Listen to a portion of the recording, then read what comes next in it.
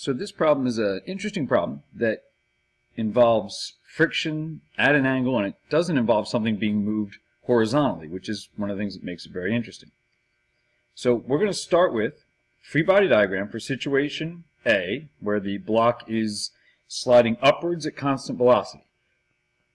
Generally, direction wouldn't make a difference, just free body diagram doesn't really show us direction, but keep in mind that the upward part here is important because if the block is moving upwards, friction, which will always oppose motion and is present in this problem, will be working downward. So if the velocity is that way, kinetic friction will be that way. So the fact that it's moving up gives us information about which way to make fr friction point. So we'll start with a free body diagram. We've got y-axis, x-axis, free body diagram for part A. So the block, all right, has, let's start with the most obvious force there. The applied force is at an angle of, oh, they give us 36 degrees. Now, what is, and that's the angle though, let's gotta be careful. That angle, let's see, the force pushes like this, and we really want to draw it though like so. And if this angle is 36, then that means this angle is 36, and that is not our reference angle. I'm going to take a moment and just get our reference angle. Uh, if it was an inclined plane, I'd switch sine and cosine because that's what I remember to do, but in this one, I want to be careful. So the first interesting little trick on this one is we need the, let's see if I can get this right, 54 degree angle that sits right here. So let me draw things a little more to scale so that it makes sense later. So I would have a force that would look something like this and would have a 54 degree angle here. So the 36 is not actually our reference angle. Our reference angle is going to be the 54 that we see there. All right. Now let's go with some simpler forces that we know are there. Friction, for example, or weight. All right. So turns out friction and weight in this case are both going to be pointed down. The weight of the block is going to be mg straight down, and since it's moving upward, the force of kinetic friction will also be down. So I have two forces down. There's one more force that uh, I can think of here, and that is it's pushing against this wall, so there's got to be a normal force. And the normal force is going to be to the left, which we're not usually running across because we're usually working on problems that are moving horizontally on floors and so forth. But in this case, the normal force is to the left. So we have one, two, three, four. Four forces, two down, one up and to the right, and one to the left. And since we have this force at an angle, we need a component diagram. And component diagram, well, three of these forces are just going to stay just like they are. The normal force, the weight, and the kinetic friction because they're already along an axis. But we need to split this force, the applied force, into its x and y components. So in the component diagram, y-axis, x-axis, we'll keep the forces, we just mentioned the other ones, so we've got normal force, we'll have weight, we'll have friction, and now we're going to break up the applied force into an x component, so force applied x, and a y component, force applied y, which of course is going to be force applied, whatever they tell us, um, well, that's what we have to find. So it's going to be force applied times the sine of the 54 degree angle. And this is going to be force applied, that's the force we're looking for, times the cosine of a 54 degree angle. And now we have our component diagram. We can fill in some of the details here, but let's just uh, let's get, use this to make an expression. So we have, looking at this, the block is not moving or accelerating. It's not accelerating in any case, but it, certainly it's not accelerating left to right because it's not even moving that way either. So it's in that case, we just know normal force and the x component of the applied force are the same. So in the x dimension, I'll start there. I know that the normal force is equal to the applied force times the cosine of 54 degrees. In the y dimension, however, there's some interesting stuff going on. Now I know that the net force, F equals ma, is just going to come out to be zero because it's moving at constant velocity. So I know this. Now from my diagram, I also know that my net force, let's see, if we assume that up is positive, then I have one positive force and two ones that are pointed downward. I have FAY, the y component of that pushing force, is up. I have mg down, and I have friction down. Keep in mind that when we go to do the next part of this problem, that the big one of the big changes there is going to be that the friction changes direction it would also be up in that case because the block is moving downward. So I get this expression straight from my component diagram. That's why I need the component diagram. And so I know that 0 equals applied force in the y, which is going to, I'm going to write FA sine of 54 degrees minus mg minus kinetic friction. That's mu kinetic times normal force. Let's expand that normal force, shall we? That means this is FA sine 45, that 54, sorry, that doesn't change, minus mg minus mu kinetic. Now, the normal force, you might recall, is just FA cosine. Applied force times the cosine of 54. Okay, and I'm at the point now where I have, let's go through, and see what I have and what I don't have. I know the angle, obviously. I know the coefficient of kinetic friction between them. Um, I know the weight of the block, so careful, that's not the mass. They already did m times g and got 47, so we have the actual weight of the block. So let's see, I know going through, I like to do this, I like to check off, I got the angle obviously, I know the entire weight, check, I know mu, got the angle, so the only thing I'm missing is FA, and that's what I'm solving for. So I'm ready to go. I just got to plug things in. Actually, let's do this. Let's solve for FA first. So we've looked at it a couple times, but if you forget, the trick is this. When you have when you see a variable variable in two different places, get them by themselves and get anything that doesn't have the variable, namely in this case mg. We're going to add mg to both sides. Get rid of anything that doesn't have an FA. So I'll have mg equals FA sine 54 minus mu kinetic times Fa times the cosine of 54.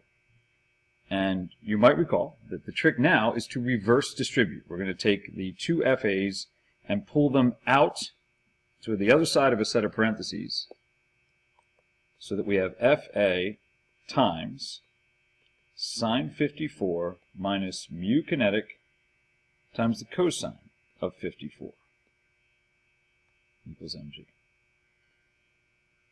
And now I have a single FA times something, and I'm going to divide both sides by the something. So I'm going to divide both sides by sine 54, it's another 5, minus mu kinetic cosine 54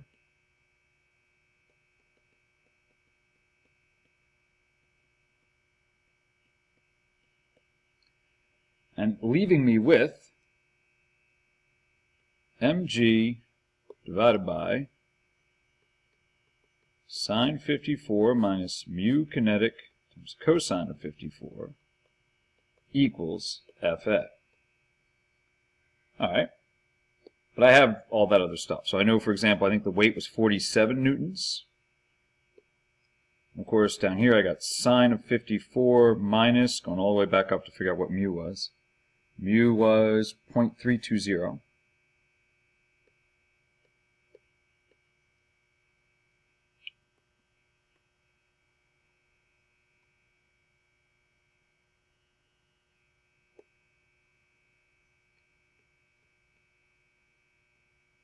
times the cosine of 54. Now I punch the buttons that should give me my applied force. Let's see if we got it right. Got be very careful when you're doing this um, that you I would actually recommend that what you do is keep the 47 newtons. Let's just figure out what the bottom is right now. So I got sine of 54 minus 0.320 times cosine of 54. That gives me 0.621.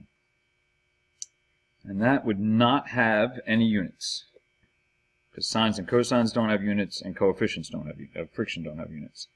So, I end up with 47 divided by 0.621 and I get an applied force in that case of 75.7 newtons. And of course that would be at an angle of 36 degrees to the vertical or 54 to the horizontal. So they already gave us the angle.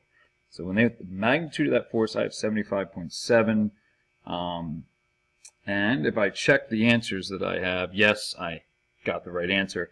You may have the paper with you that has the answers on it. You'll probably notice as well that uh, Wellborn can still, still do physics um, so let's go ahead and do the next part.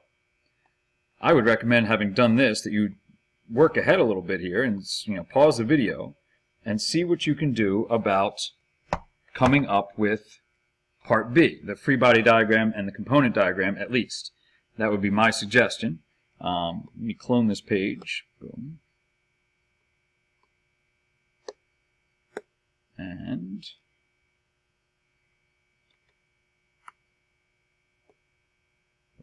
okay so for part B where we're letting it slide down at constant velocity how do things differ? Well if it's moving downward if its velocity is down then we should remember that friction is going to oppose that and be the other direction.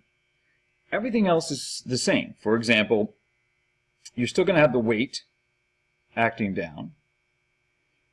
You're going to have the force applied, not the same size as before. You're definitely not going to have to push as hard.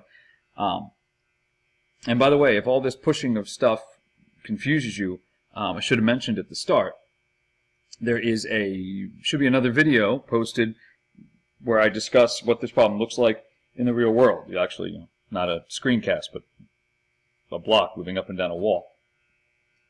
So that this part hasn't changed, but the size of the force will change. I still don't know what that this force is going to be. Right, it's going to be a new magnitude, and that's what I'm trying to find. Um, need to write all that. Okay. I also know, let's see, normal force is going to be pushing to the left still.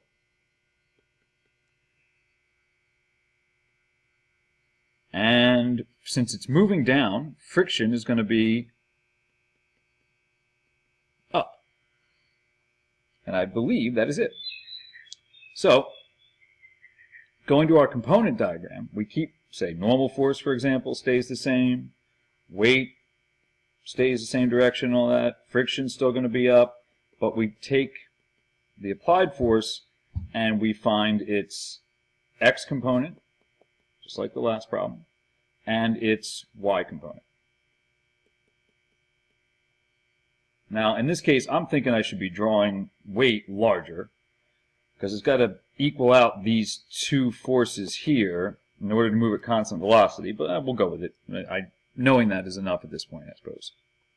So, once again, in the x dimension, the horizontal dimension, the only interesting thing here is that the normal force is still equal to the x component of the applied force, which is going to be Fa cosine 54. That doesn't change.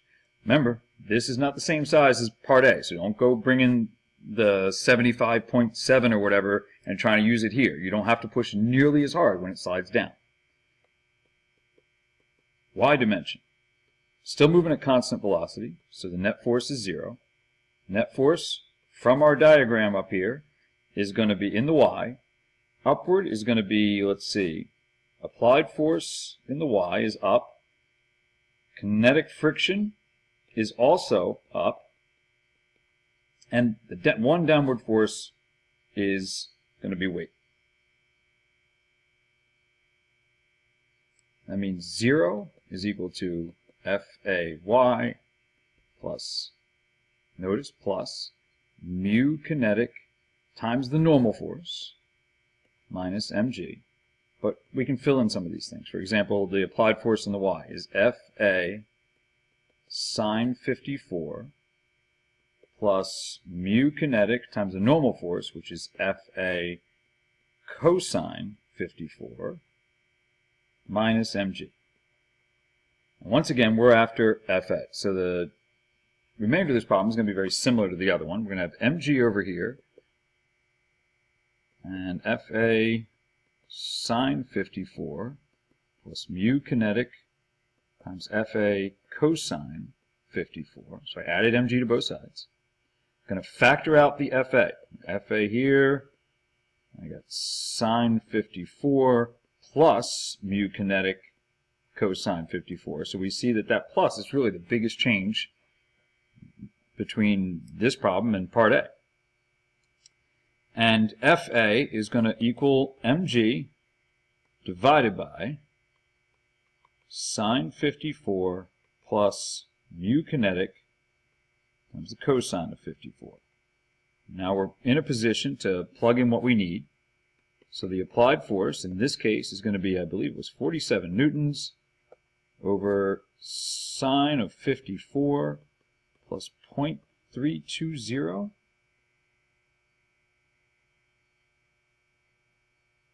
Yes. Times cosine of 54. 54. And once again, I would suggest doing this denominator first and by itself, just to make sure we get it right. Uh, order of operations is going to be a real problem otherwise. So sine of 54 plus 0.320 times cosine of 54. That gives me 47 newtons in the top, and in the bottom now 0.9971. So virtually going to be applied force. It's going to be 47 divided by that answer.